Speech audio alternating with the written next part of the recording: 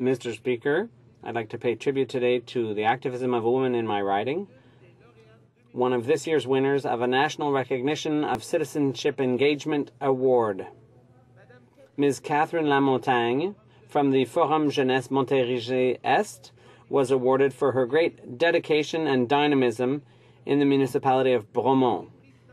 She's the president of the Bromont Family Advisory Committee and took part in the creation of the Carrefour Familial. This family center provides short term childcare and networking activities for young families in the region.